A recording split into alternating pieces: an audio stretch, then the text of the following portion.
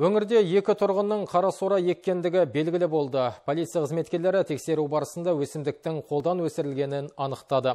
Екі алқаптан 130 түп қарасора тәркіленіп, тергеу амалдары басталды. 14 маусымда полиция инспекторлары Орал қаласының іргесіндегі саяжайлардың бірінде 116 түп қарасора өсіп тұрғанын байқайды. Тексере келе қала тұрғыны есірткілік өсімдікті сату үшін екендігі анықталды. 1986 жылы туған ер адам ерте көктемде тұқымын сеуіп, күтіп баптағаны белгілі болды. Өйткені жерді тырмалап, арам шөптен тазартып тұрған. Арнайы қоспа тыңайтқыштар да табылды. Қазіргі таңда екі азаматтың үстінен қылмыстық іс қозғалып, тергеу амалдары жүргізіліп жатыр.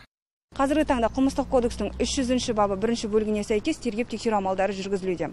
Айта кетерлігі он төрті күні осыған ұқсас жағдай тағы орын алды. Бұл жерде бір мың тоғыз жүз сексен алтыншы жылғы азамат жүз он алты түп еккен болатын.